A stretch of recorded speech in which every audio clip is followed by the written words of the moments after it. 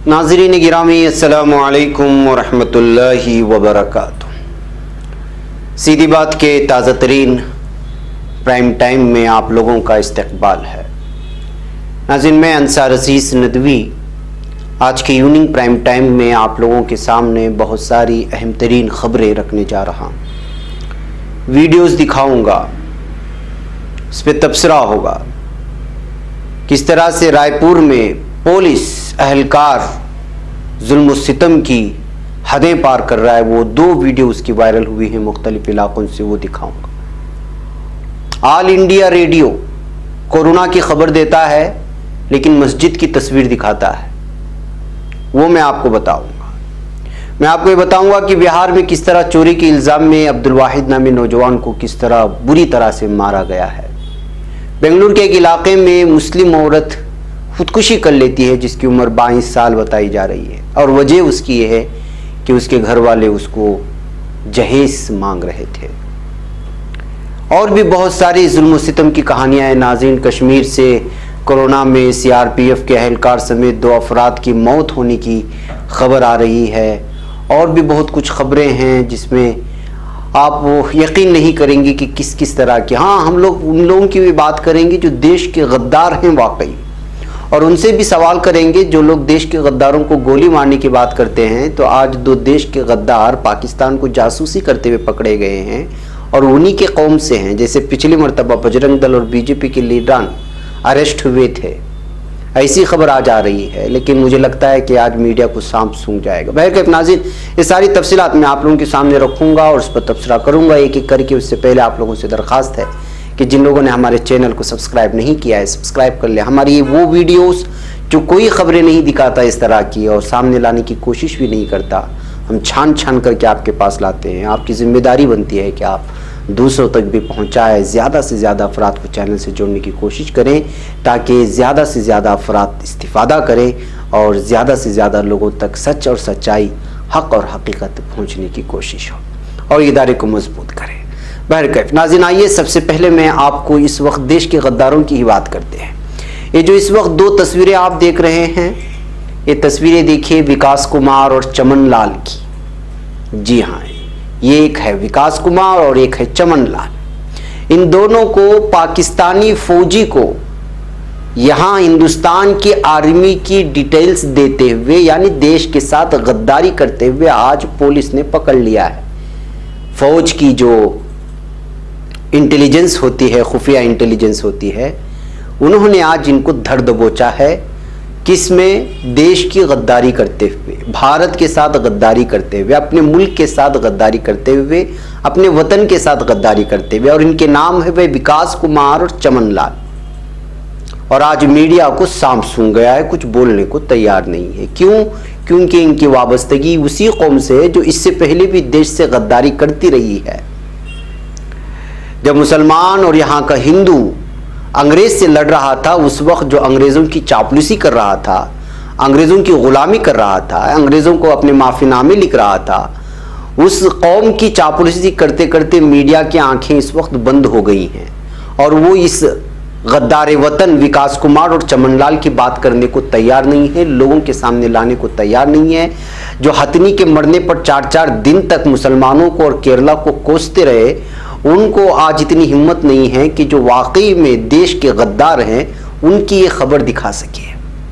और फिर कपिल मिश्रा से जो कह रहा था, दहली फसादा से पहले पूरी तरह प्रोग्राम में कि गोली मारो गद्दारों को और न जाने क्या क्या स्लोगन लगाए जा रहे थे, अब उसका मुँह बंद हो चुका है। अब उसको वाकई में कहना चाहिए कि गोली मारो गद्दारों को। ये है असल गद्दार जिसको आज पुलिस ने फौज की इंटेलिजेंस अफसरान ने गिरफ़्तार कर लिया है। इनका नाम है विकास कुमार और चमन लाल। और नाजिन, आपको भूलना नहीं चाहिए कि इससे पहले भी साल 2017 में, साल 2019 में बजरंग दल से और बीजेपी से ताल्लुक रखने वालों को पुलिस ने जो है पाकिस्तान के लिए यहाँ की खुफिया मालूम फौजियों की देते हुए पकड़े गए थे और मीडिया ने उस वक्त भी जो है खामोशी इख्तियार की थी, इसलिए कि उनका ताल्लुक किसी और मज़हब से नहीं था।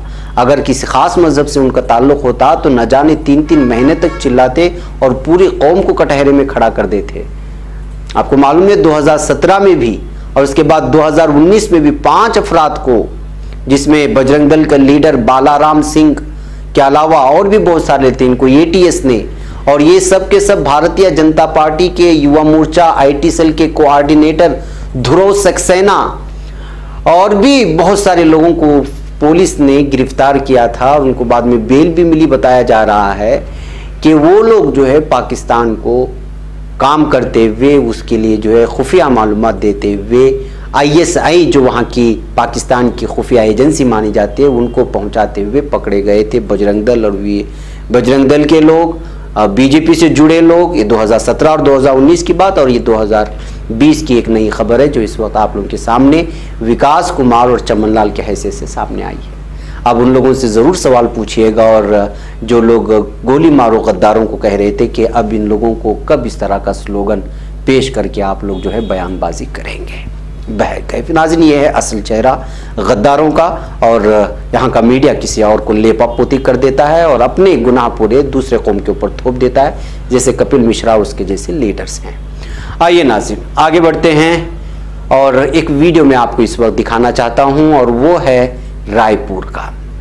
ये पुलिस देखिए, ये या तो पगला गया है, पागल हो गया है। रास्ते में जाने वाले लोगों को, जबकि अब लॉकडाउन ख़त्म भी हो चुका है, वीडियो की असल वक्त और तारीख नहीं बताई जा रही, लेकिन जिस अंदाज में हैवानियत का मुजाहरा कर रहा है, ये जो है बहुत ही ख़तरनाक है। पुलिस को मुख्तलिफ़ इलाकों के लोगों को न जाने क्या हो गया है? क्यों इस कदर डिप्रेशन में है? न जाने क्यों इन लोगों के जहन में इस तरह से जो है इस वक्त हैवानियत छाई हुई है कि ये देखिए वे वही पुलिस है जो वहाँ औरत के साथ मार रहा था और ये वही उसी पुलिस की वीडियो जो दूसरे रास्ते पर इस वक्त एक जो है शख्स को पुलिस पे बैठे हुए मारा जा रहा है। और ये जो वीडियो आ रही है, रायपुर की आ रही है, छत्तीसगढ़ से। पुलिस को और बड़े महकमे पुलिस के जो है बड़े अफसरान को चाहिए कि इसको फौरी तौर पर निकाल दे, वरना इसकी जो हैवानियत है उसकी जो जहन में सवार जो इसके भूत जो सवार हो चुका है हैवान का, हैवानियत का, शैतान का, वो जो है इन मासूम लोगों पर जो गुजर रहे हैं, रास्तों से चल रहे हैं, किसी भी तरह की लॉकडाउन की जो है यहाँ पर जो है खिलाफ वर्जी नहीं हो रही है, लेकिन वो इस कदर मारता और पीटता हुआ नज़र आए रास्ते में, और दूसरी किसी और का गुस्सा जो है यहाँ पर आवाम पर उतारते हुए नज़र आ रहा है। रागढ़ के पुलिस कमिश्नर को इस इलाके से वाबस्ता तमाम लोगों को चाहिए कि इस पुलिस को फौरी तौर पर काम से भी निकाला जाए, उसकी तरफ़ से जो है फौरी तौर पर कानूनी कार्रवाई की जाए और देखा जाए कि किस तरह का भूत इसके जहन पर सवार हुआ है कि जिस किसी को भी रोक रहा है, मार रहा है, रोक रहा है, मार रहा है। ये वीडियो है जो इस वक्त बहुत ज़्यादा वायरल हो रही है नाजिन नाजिन, आइए मैं एक और तस्वीर आपको इस वक्त मकबूजा बैतुलमकदस की बताना चाहता हूँ। पुराने शहर में एक यहूदी आबादकार ने छोटी सी बच्ची पर किस तरह जुल्म ढाया है एक फ़िलिस्तीनी बच्ची पर इस तस्वीर में आप देख सकते हैं। मकामी ज़राए से आ रही खबर के मुताबिक इस बच्ची का नाम मरियम नजीब है। ग्यारह साल ये बच्ची है। वोल्ड सिटी के अलवड़ गली में रहती है। अपने घर के करीब स्कूटर के साथ खेल रही थी कि अचानक एक दहशतगर्द यहूदी आबादकार उसके पास आता है और ज़बरदस्ती ज़मीन पर धकेल देता है और मस्जिद अक्सा के मगरबी दीवार प्लाजा की तरफ़ से वो फरार हो जाता है।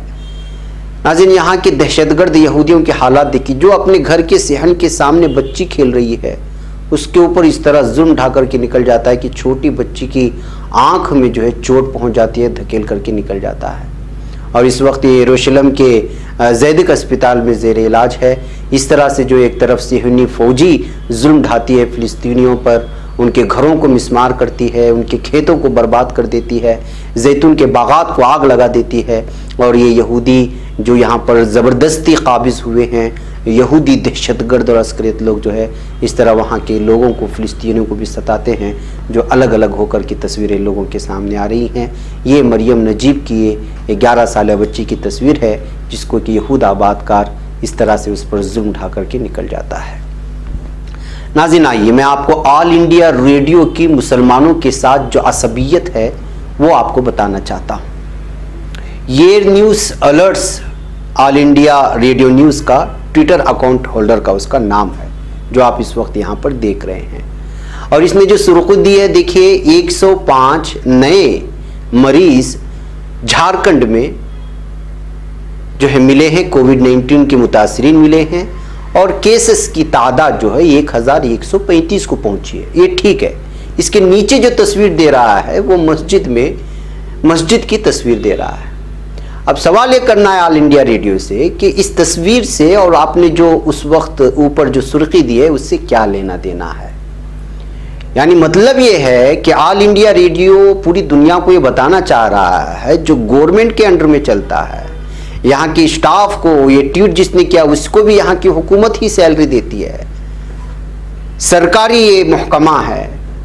ऐसे सरकारी महकमे से कोविड 19 की खबर दी जा रही है, एक मस्जिद में और जो है, नमाजियों के साथ तो इससे क्या रिश्ता हो सकता है, आप अंदाज़ा लगाएँ। आप इस बात से अंदाज़ा लगाएँ कि किस तरह से जो है, इस वक्त मुसलमानों के खिलाफ एक मुनज़म तरीके से कोविड 19 को लेकर के, कोरोना वायरस को लेकर के एक इमेज बनाने की, एक तस्वीर पेश करने की कोशिश की जा रही है। क्या ऑल इंडिया रेडियो पर यह ऑब्जेक्शन नहीं बनता कि उसके खिलाफ, इस ट्वीट के खिलाफ जो है जो है केस दर्ज किया जाए, कि स्टाफ को लामत मलामत किया जाए? मैं अब ये बात आ रही है जब उस पर लगातार जो है, तबसरे हुए कमेंट्स के ऑल इंडिया रेडियो को जो है, इस ट्वीट पर जब उसको आड़े हाथों लिया तो उस ट्वीट को उसने जो है डिलीट तो कर दिया है, लेकिन उसकी जहनी असबियत और उसके जहन में बड़े हुए गलाजत वहाँ कर रहे स्टाफ के जहन में मौजूद पूरा का पूरा जो है गलाजत सामने निकल करके आ गया है, सिर्फ़ एक ट्वीट की वजह से। पूरी दुनिया जो है कोविड 19 से डर रही है और लड़ रही है और कोशिश कर रही है कि इसको ख़त्म किया जाए। और ये इंडिया की मुख्तलिफ़ महकमे, यहाँ का मीडिया, यहाँ का हर वो शोबा जो मुसलमानों से जो दुश्मनी रखता है, वो किसी न किसी तरीके से इसको जोड़ करके नफरत फैलाने की कोशिश कर रहा है। आपने देखा कि जो है वो राजस्थान के अस्पताल में जो ग्रुप चैटिंग हुई थी, उसमें किस किस तरह के जुमले इस्तेमाल किए गए थे?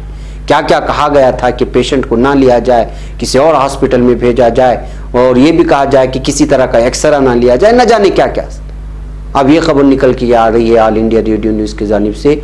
यानी कि मीडिया का भरपूर इस्तेमाल करते हुए सोशल मीडिया का पूरा भरपूर इस्तेमाल करते हुए यह साबित करने की कोशिश की जा रही है कि कोविड 19 का मतलब मुसलमान। इस, जो है, इससे आपको यही महसूस होता है। आप देखिए, क्या इसका रिलेशन हो सकता है? क्या इसके दरमियान जो है रब्त हो सकता है इस हेडिंग से और इस मस्जिद के और मुसलमानों की इस तस्वीर से? आप खुद अंदाज़ा लगा बैक नाजिन, आइए, एक और ख़बर की जानब चलते हैं। और वो खबर इस वक्त जो रखना है, बेंगलुरु के हमारे मुसलमानों की हालत किस तरह बस से बदतर होती जा रही कोलार की एक खातून, जिसका नाम तस्मिया खानम है। इसकी शादी बेंगलुरु में एक शख्स से हुई थी, शुएब नामी शख्स से, जो बेंगलुरु के क्यारपुर के गांधीनगर में रहता है। इस बच्ची ने, इस लड़की ने आज खुदकुशी कर ली। और इसका ताल्लुक कोलार के मुलबागल के हैदरी नगर से है। और यहाँ के लोग शादी करके तो लाते हैं, लेकिन उसके बाद उसको इस कदर जहेज लाने के लिए मजबूर कर दिया कि तस्मिया ने जो है इस वक्त खुदकुशी कर ली। आप अंदाज़ा लगा सकते हैं क्या हालात हो रहे हैं। किस तरह की वबाएँ अगर हम पर लगातार भी आएँगी तब भी ये ज़ात या कौम सुधरने वाली नहीं होगी। जहेज का कोई मतलब नहीं है इस्लाम में इसका कोई तस्वुर ही नहीं है। तो ज़ाहिर सी बात है कि अब ये कातिल निकले खुदकुशी करने पर मजबूर करने वाले वो शोहर निकला वो शुएब जिसने खुदकुशी की है। हाँ, खुदकुशी करने पर मजबूर किया है अपनी बीवी को। ये खबर बज़ाहिर सामने नहीं लाना चाहिए। लेकिन कौम को उसका आईना दिखाने के लिए, उसका चेहरा दिखाने के लिए कि वो किस तरह इस वक्त गिरावट के हदों को पार करता हुआ जा रहा है, वो दिखाने के लिए ये खबरें देना ज़रूरी है ताकि दूसरे लोग अलर्ट हो सके।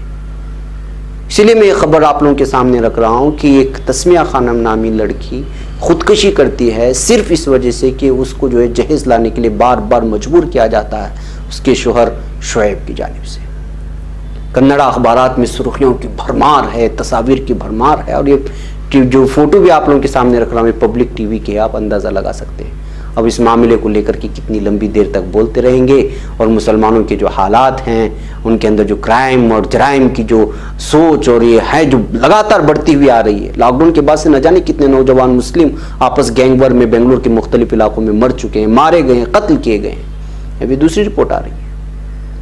ये हालात है। बहकर नाजिन आइए अगली ख़बर की जानी बढ़ते हैं। नाजिन, आज मस्जिदें खुल गई हैं और अक्सर रियासतों में और आज नमाजें भी अदा हो गई रूह परवर माहौल में। हमें इसका शुक्रिया बजा लाना चाहिए, लेकिन अक्सर मसाजिद जो है पूरी तरह से कोशिश कर रहे हैं कि वो लॉकडाउन के लिए, लॉकडाउन के दौरान जो उनके लिए गाइडलाइन पेश की गई हैं, जो है वो पूरी तरह से उसको उस पर अमल किया जाए, इसकी भरपूर कोशिश हो रही है। अच्छी बात यह रही है कि सभी जगह समाजी फासले का भी आज खास ख्याल रखा गया। साफ़ सफ़ाई का भरपूर इंतज़ाम भी था।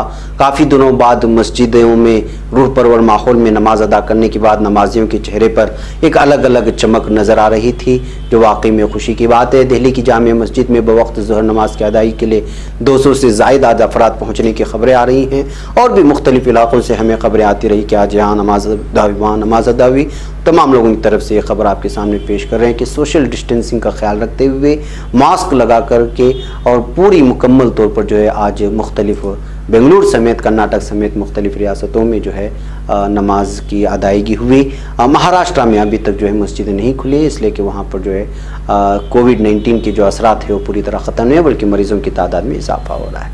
नाजिन वादी कश्मीर में एक सेंट्रल रिज़र्व पुलिस फोर्स, या आरपीएफ एहलकार और एक आम शहरी की कोरोना में मुबतला होकर जान से हाथ धोने के बाद जम्मू कश्मीर यूनियन टेरेटरी में इस वायरस से मुतल अमवात की तादाद बढ़कर इस वक्त तैंतालीस हो गई है और चूँकि सेंट्रल रिज़र्व पुलिस फोर्स या आरपीएफ के एहलकार की भी जान चली गई, इस वजह से ये खबर इस वक्त जो है पूरी तरह से सुर्खियों में छाई हुई है। तो सीआरपीएफ का एक एहलकार दो अफराद की मौत ताज़ा जो आ रही है, वो जो है जम्मू कश्मीर से आ रही है। नाजिन मुतहदा अरब इमारात में भी एक हिंदुस्तानी डॉक्टर कोरोना की वजह से हलाक हो गया है। इस तरह की खबर मुतहदा अरब इमारात से भी आ रही है। नाजिन एक आखिरी खबर जो अहम तरीन मुझे आप लोगों के सामने रखना है। आपको मालूम होना चाहिए कि आज कौमी दारकूमत दहली में, दहली के ख़त्े एन सी आर में आज दोपहर बाद जलजले के हल्के से झटके महसूस किए गए। नाजिन दहली में गुज्त एक महीने से लगातार जो है जलजिले के झटके महसूस किए जा रहे हैं, जिसको लेकर के कभी कभी ये महसूस होने लगता है कि कहीं ये मामूली से झटके जो बार बार आ रहे हैं एक महीने के अंदर, आगे जाकर के कोई बड़े जलजिले के इम्कान तो ज़ाहिर नहीं कर रहे हैं। कौमी जलजिला साइंस मरकज के मुताबिक जलजिले का मरकज हरियाणा में गुरुग्राम के ज़िले दोराला में दहली सरहद के पास था। दोपहर बाद एक बजे आए जलजले का मरकज अट्ठाईस आशारिया सात शिमाली अर्जुल बलद और छिहत्तर आशारिया सात मशरकी तुल बलद पर ज़मीन की सतह से 18 किलोमीटर की गहराई में था। रेख्तर पैमाने पर उसकी शिद्दत दो आशारिया एक दर्ज की गई है। तो नाजिन गुज्ता बारह, तेरह, पंद्रह अप्रैल को लगातार दहली में जो है झटके महसूस किए गए। मैं आपको बताता हूँ 12 अप्रैल 2020 को रेख्तर पैमाने पर जलजले की जो शिद्दत महसूस की गई, तीन आशार्या पाँच की और ये मरकज दहली था गहरा इसका आठ किलोमीटर था। 13 अप्रैल 2020 रेख्तर पैमाने पर शिद्दत दो आशार्या सात, मरकज दहली गहराई पाँच किलोमीटर। 15 मई 2020 रेख्तर पैमाने पर शिद्दत दो आशार्या दो, मरकज दहली गहराई बाईस किलोमीटर। 28 मई को फिर जो है जलजले के झटके महसूस किए गए। रेख्तर पैमाने पर जिसकी शिदत दो आशार्य पाँच थी और उसका मरकज फरीदाबाद था और गहराई दस किलोमीटर। इसके अलावा उनतीस मई को फिर जो है मरकज रोहतक में जो है यहाँ पर दिल्ली के आसपास के इलाकों में फिर जलजले के शदीद झटके महसूस किए गए, जिसकी शिदत दो आशार्य नौ अख्तर पैमाने पर और गहराई दस किलोमीटर। उनतीस मई को फिर मरकज रोहतक ही उसका था और रेख्तर पैमाने पर शिदत चार आशार्य पाँच महसूस की, गहराई पंद्रह किलोमीटर। यकम जून को फिर जो है रख्तर पैमाने पर शिद्दत तीन आशार्य ज़ीरो के साथ मरकज रोहतक ही था। गहराई दस किलोमीटर थी और शिद्दत के जलजले के झटके महसूस किए गए। यकुम जून को भी, तीन जून को भी, तीन जून का मरकज फरीदाबाद था। गहराई चार किलोमीटर थी और 2020 में, तीन जून 2020 में रेख्तर पैमाने पर शिद्दत तीन आशार्य ज़ीरो यानी सिफर थी। पाँच जून को फिर महसूस किया गया। 2020 का ये पाँच जून और रेख्तर पैमाने पर शिद्दत चार आशार्य एक और मरकज जमशेदपुर, गहराई सोलह किलोमीटर। आठ जून को फिर शिद्दत के साथ जो है, जलजले के झटके महसूस किए गए। 2020 रेख्तर पैमाने पर शिद्दत दो आशार्य एक, मरकज दहली गुड़गांव था इसका सरहद। और गहराई 18 किलोमीटर तक थी। तो नाजिर, इस बात से आप अंदाज़ा लगा सकते हैं कि लगातार एक डेढ़ महीने, यानी कुछ कमोबेश अगर देखा जाए तो जो है, जून के महीने में कई मरतबा मरकज़ दहली में और जो है, मई में जो है, यहाँ पर जलजले के झटके महसूस किए गए हैं। पंद्रह बीस दिन के अंदर अगर इतने अलग अलग अयाम में महसूस किए गए हैं तो वाकई में एक अचंभे वाली बात के साथ साथ जो है तशवीशनाक बात है कि कहीं आगे के दिनों में कहीं बड़े जलजले की तो ये कोई इम्कान तो नहीं, कोई पेश गोई तो नहीं, ऐसा महसूस किया जा रहा है इस पर तबसरे हो रहे हैं। बैग नाजिन मुझे यहाँ पर इजाज़त दें, इंशाल्लाह फिर आप लोगों से गुफ्तु होगी शाम में कुछ और ख़बरों के साथ। आप देखें, दूसरों तो फैलाने की कोशिश करें। असल वरहमल वर्क